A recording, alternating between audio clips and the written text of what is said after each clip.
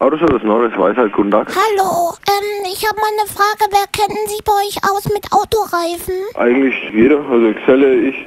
Du auch? Ja, erzähl was, was, was brauchst du? Na, brauchen nix. Ich wollte mal fragen, wie viel Gummi auf dem Autoreifen noch drauf ist, wenn nix mehr drauf ist.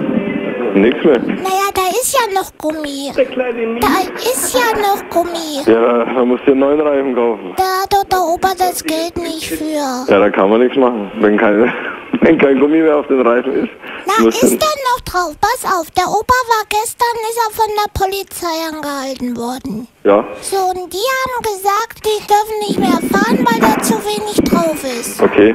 So, und da haben wir heute gedacht, weil der Opa ja kein Geld hat für neue Reifen, ob wir dem das vielleicht noch mal rausschnitzen. Was, aufschnitzen? Nein, rausschnitzen, weil ein bisschen Profil ist ja noch da und da Ach ist so. ja bestimmt auch noch Gummi. Ja, ich schätze mal 3, 4 Millimeter. Noch drei, vier Millimeter? Ich weiß es nicht, also... Daniel, kannst ruhig schneiden, sind drei, vier Millimeter, sagt er. Also, Ein- äh, 1,6 brauchen wir. was? 1,6 hat der Polizist gesagt. Ja, okay, ich schneide runter. Meine Frage, schnitzt ihr auch Autoreifen?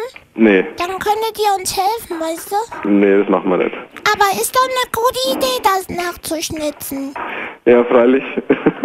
Habt ihr das noch nie gemacht? nee. Ihr, mu ihr müsst mal überlegen, was das für eine Verschwendung ist, wenn da noch 4 Millimeter sind. Ja, du musst dann mal Michelin anrufen. Habe ich schon gemacht, die haben gesagt, das Michelin-Männchen gibt's gar nicht mehr. Okay, Du meinst irgendwie, Neureifen wäre besser, oder? neue Reifen, ja. Gib's zu, ihr macht auch Reifenschnitzereien.